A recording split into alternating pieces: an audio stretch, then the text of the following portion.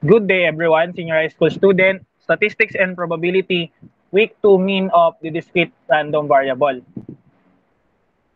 So for lesson number 1, mean of the discrete random variable, at the end of the session, the learner should be able to illustrate the mean of the discrete random variable, calculate the mean of the discrete random variable, interpret the mean of the discrete random variable, and solve for the expected values.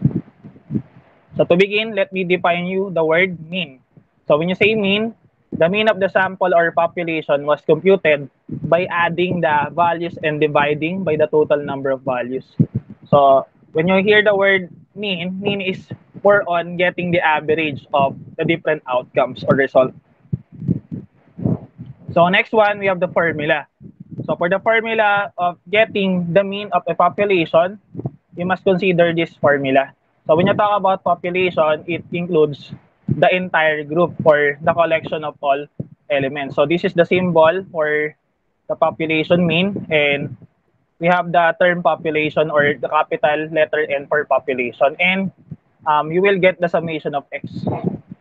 Then for getting the mean of the sample, so almost the same lang din naman siya with the population. Ang naiba lang is more on the representation. And when you talk about um, sample, sample is just a part of the population. So this is the symbol for the sample mean and you have the summation of x and uh, for the sample size, yung representation natin is more on smaller form of n since it is only part of the population.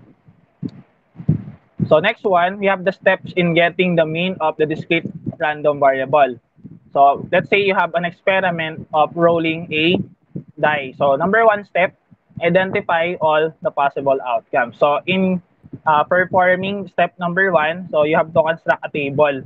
So for the first table, you have to consider the number of the spots or yung random variable x natin. So for this given part, since we are rolling a die, we have to consider the faces of the die. So you have 1, 2, 3, 4, 5, and then you have 6. Number 2, determine the probability of each possible outcome. So for this part, for the second column, um, you have to fill in itong part ng probability of P of X. When you say P of X, um, you have to consider yung uh, probability of every um, spot of this given die. So let's say for this part, in getting 1, we have 1 over 6. Kasi one lang, isa lang naman yung 1 dito sa given die natin and you have 6 possible outcomes. The same with 2, the same with 3, even 4, 5, and then 6 you only have one out of the six chances na you will have this given um, items or numbers.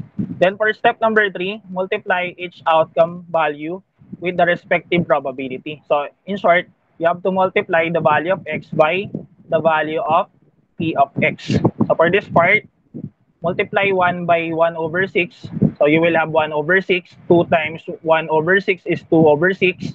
3 times 1 over 6 is 3 over 6. 4 times 1 over 6 is 4 over 6. 5 times 1 over 6 is 5 over 6. And then 6 times 1 over 6 is 5 over 6. Then for step 4, find the sum of the product. So for this part, you have to consider this formula. So for our formula, you need to get the summation of um, x times the value of the p of x. So in short, you have to get the sum of this third column. So add lang po natin siya. So by substituting the value for the third column, so you will have 1 over 6 plus 2 over 6 plus 3 over 6 plus 4 over 6 plus 5 over 6 plus 6 over 6. Since um, yung given item natin is already in similar form of fraction, you have to copy the denominator and just simply add the numerator. So you will have 21 over 6. So we can convert 21 over 6 in lowest term. So we will have 7 over 2 And then in decimal form, you will have 3.5. So step 5, you have to interpret the result. So for the step 5, the value obtained is called the mean of the random variable x or the mean of the probability distribution of x. So our answer for this given uh, problem is the mean tells us the average number of spots that would appear when unbiased die is rolled is 3.5.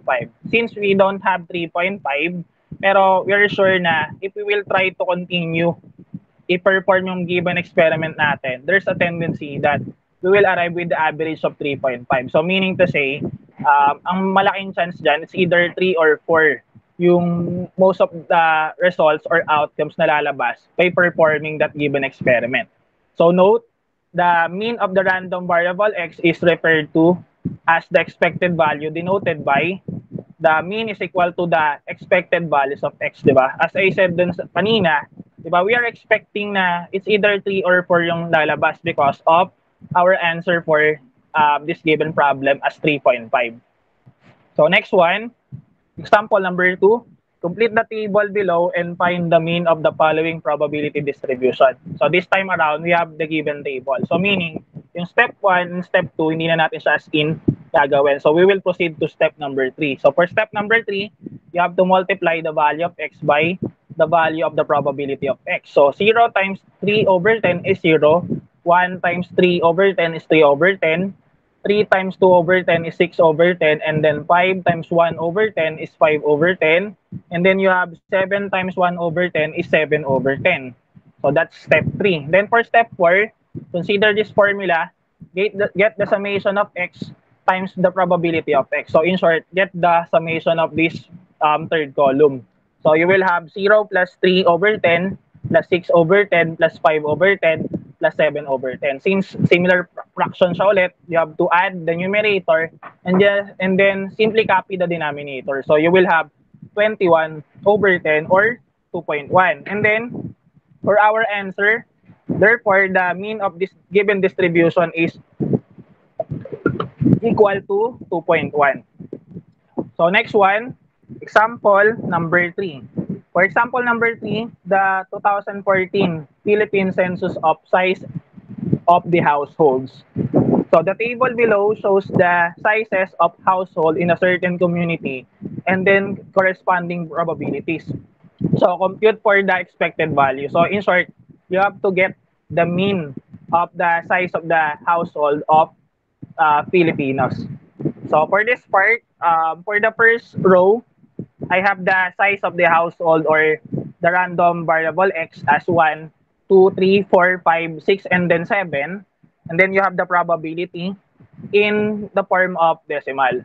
In the form of percent, I mean. So you have to convert this given um, into decimal first and uh, we will continue dun sa step number 3 natin. So ito lang yung nadagdag na step sa atin. So in getting or converting this um, given probability in the form of percent, uh, we will uh, move this given decimal point two places to the left. So like for example, for, for 24.5%, so that's equivalent to 0.245 since we move the decimal uh, point two places to um, the left. So the same thing with 32.8%. So move this given decimal uh, point two places to the left, then you will arrive with 0.3 to um, 8. Or other solution, um, you may divide um, you may divide the given probability by uh, by 100. So like for example, uh, for 24.5, divide this given by 100 and then you will arrive with 0.24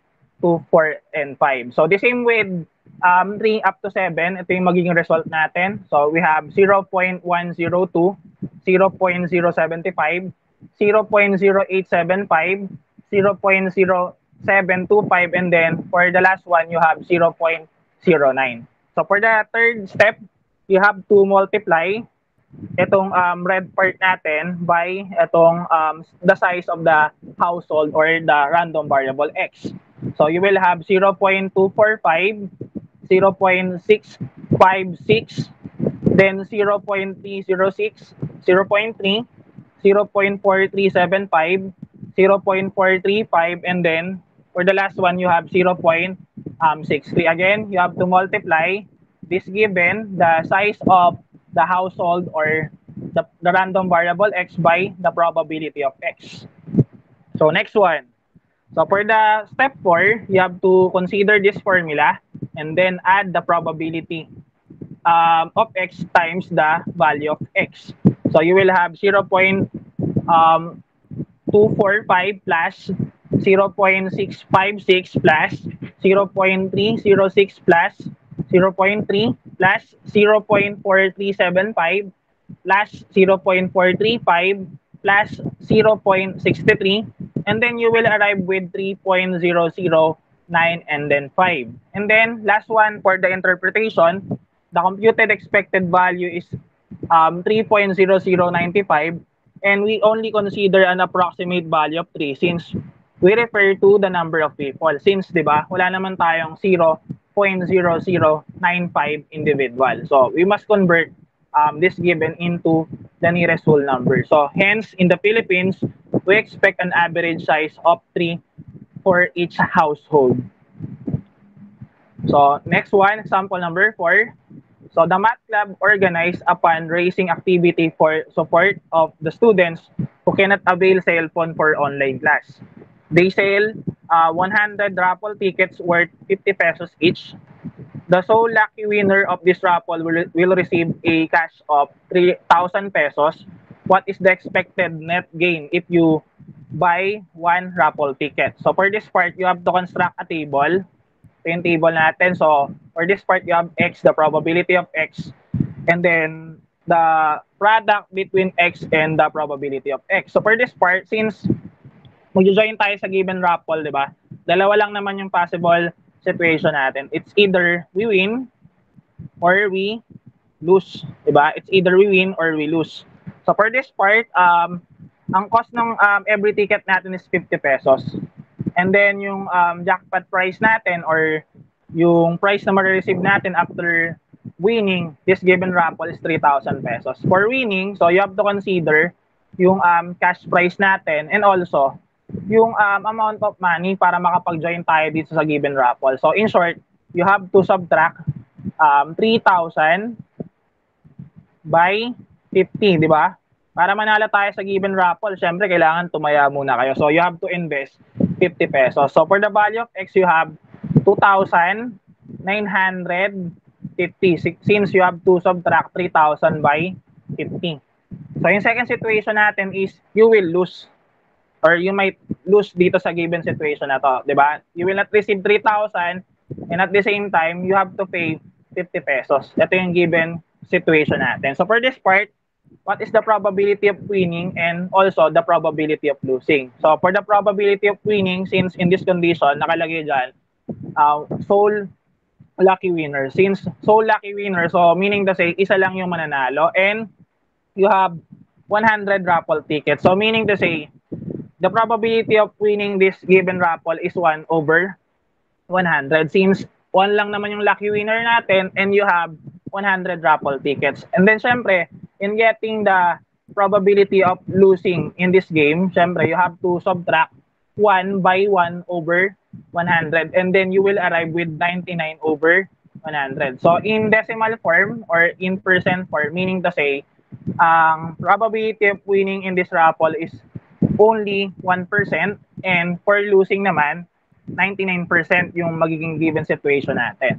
So for step 3, you have to multiply the value of x by the, the probability of x. So dito sa part natin, you will have uh, 2,950 divided by 100 and then itong kabila naman, you will have negative 400, 4,950 divided by 100. Consider this formula, the summation of x times the probability of x. So ito yung result natin for this part, di ba? You have 2,950 over 100 minus the result of this part, you have 4,950 over 100. And then you will arrive with negative 2,000 over 100 since a similar fraction sila. And then convert this part into a whole number and then you will arrive with negative 20. So yung negative 20, ito yung expected value natin for this given situation. So interpretation, it means that the average gain is equal to negative 20. Since negative yung answer natin, so we can reinterpret this part as the student is expected to lose um 20 pesos for joining this kind of raffle. So thank you, um, senior high school student for um, watching this video. And then wait for um, the guide of this week number 2 para masagutan nyo yung given uh, module natin.